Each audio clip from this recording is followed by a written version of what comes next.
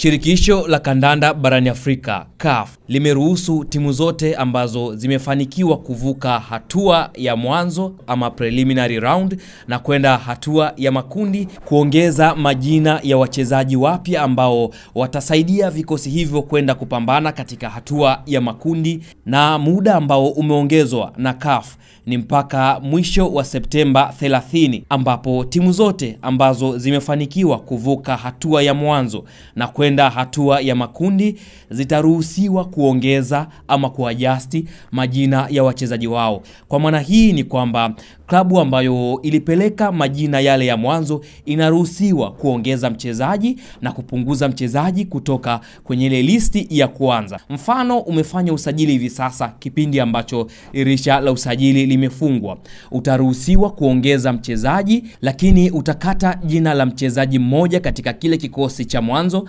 ambacho kilishiriki, kama ni hatua ya mwanzo ama ni hatua zote mbili za mwanzo, kwa sababu kuna timu ambazo mwanzo zilicheza na vilabu viwili, yaani mechi nne, mfano Young Africans, lakini kuna timu ambayo imecheza na klabu moja tu, mfano Simba ambayo ilicheza na Al Ahli Tripoli michezo miwili.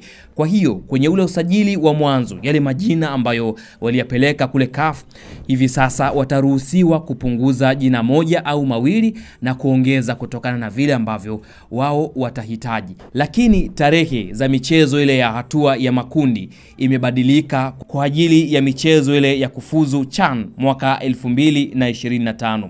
Tarehe ya fainali nusu fainali pamoja na robo fainali ndizo tarehe pekee ambazo hazijabadilika. Tarehe ambazo zimebadilika ni tarehe za michezo ya hatua ya makundi, ambapo michezo hii itaanza kati ya tarehe 26 ama 27 mwezi wa 11 na mchezo wa pili utapigwa kati ya tarehe sita mpaka tarehe nane mwezi wa kumi na mbili. Mchezo wa tatu utapigwa kati ya Desemba 13 mpaka 15.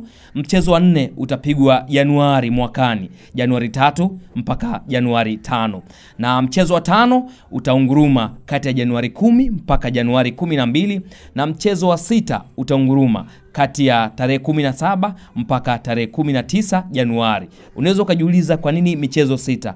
Kumbuka kila kundi litakuwa lina jumla ya timu nne. Kwa hiyo kati ya hizo timu nne, maana kuwa kila timu lazima ikutane na mwenzie. Kwa hiyo timu moja ikicheza na timu zote ni mechi tatu, home and away zinakuwa mechi sita. Hivi ndivyo ambavyo shirikisho la mpira wa miguu barani Afrika CAF limetoa ratiba yake.